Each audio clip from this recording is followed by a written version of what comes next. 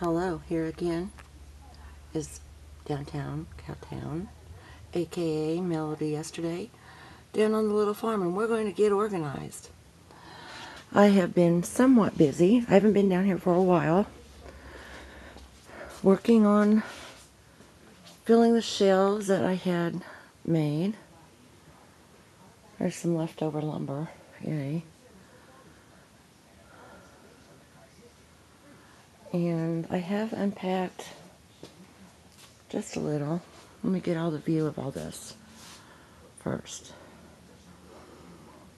Okay, imagine a double wide if you know the size of that. And then imagine a basement. The same dimensions. That's what we're in right now. The DVD things, they should be down at the other end, but we haven't gotten that far along yet. And here are the boxes so far that I've emptied into this case. And across the way there is what we have left to deal with. This huge mess, but it's going to go away. I'm either going to sell some of it or give it away or trade it off, whatever, to get rid of it. And I've got a light out for right now. It'll come on, I think. It's trying to come on. I see orange glowing. It's warming up. But it comes way down here. Crazy, isn't it? And the light is very poor down at this end right now. But it looks like a sea of stuff. But what I got the other day at the Dollar Tree, and yes, I'm one of those Dollar Tree freaks.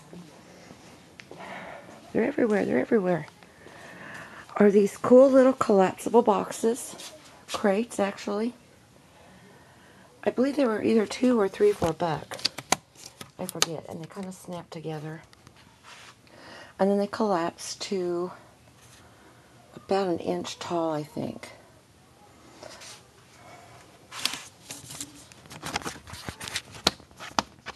No, no. So that's what we're up to. And some of the other goodies that I found. And this light is so crap. Rolls of foam, glitter glue and beads, little packages of uh, multicolored glitter.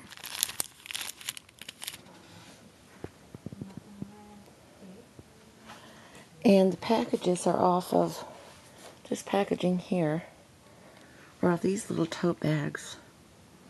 You get three for a buck.